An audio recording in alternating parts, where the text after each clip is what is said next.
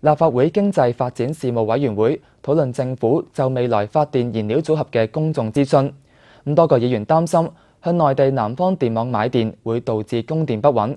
政府就重申，從澳門嘅經驗證明內地供電穩定，建議亦都有利開放電力市場。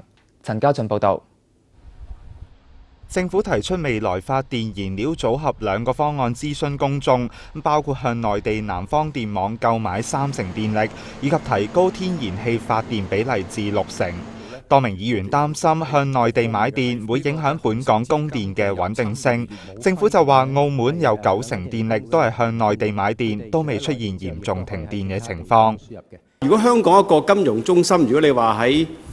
誒繁忙時間開緊市呢啲咁嘅時間停兩分鐘啊，我諗咧聽日就一定係頭版嚟嘅啦。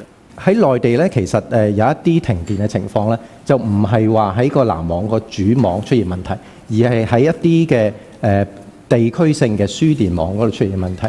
咁澳門亦都係冇一啲嘅係啊誒長期停電嘅情況。購買網電呢一個方案嘅話咧，我哋一定要係做到滿足香港我哋呢個可靠性嘅要求，同而家電力公司所提供嘅穩定性呢，係要匹配為我哋嘅基準。黃錦星話：向內地買電相對有利開放電力市場，但有議員就憂慮到時控制唔到電費價格。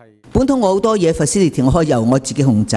如果 A 方案呢，人哋要加乜，你到時你就只能企個基礎上。我就想問你，你講個空間係咩空間啊？你空間企喺個個穩定啊，或者企喺個搏下佢啦咁樣呢？澳門佢過去誒十年度誒誒購買網電嘅情情況，其實佢哋睇翻佢哋嘅價錢，過去十年間其實佢哋攞到誒南方電網嘅價錢呢，係相對於平穩嘅。